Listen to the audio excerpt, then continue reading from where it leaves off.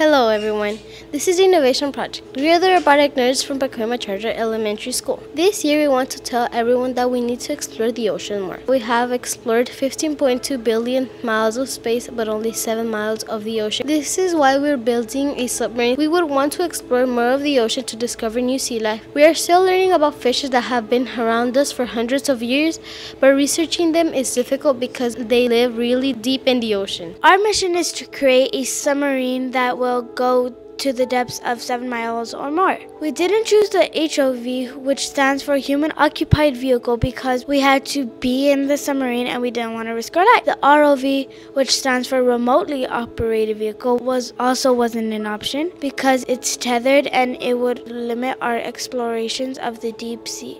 This year we are doing a competition called the First Lego League. The theme is submerged we built a robot that would do the missions.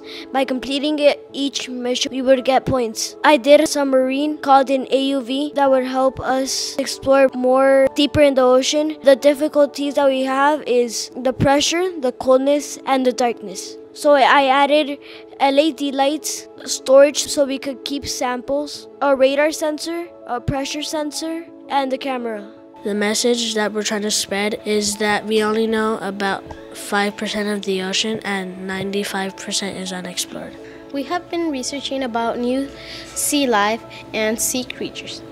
I will give you an example of a sea creature, a sea angel. It was discovered in 1676. It's a type of swimming snail. The muscular foot found in land snails has evolved into a pair of wings like structures called parapodia. The barrel-eye fish looks weird. The head is like see-through, and you might think like the eyes in front are the actual eyes, but they're not. They're the nostrils. They can live up to 60 years, and their eyes are also like inside their head, so they can look up and also like straight anytime they want. Another fish is the red handfish. This fish was discovered in 1844. This fish lives in the depths between 2 to 20 meters. There are only only about a hundred left in the wild. A threat to this fish is habitat loss and destruction from native sea urchins. The regular handfish went extinct because of habitat loss and destructive fishing practices. One of the deep sea fishes that we know is called the Dumbo octopus. It got its name because it looks like the, the elephant Dumbo. It has what looks like ears but it's actually wing. It works like wings to help it swim through the ocean. I researched about a fish called the black dragonfish. Its teeth are made out of nanocrystal. They only see red. They have a bioluminescence light that they can only see but nobody else can see. The goblin shark has the fastest jaws in the ocean.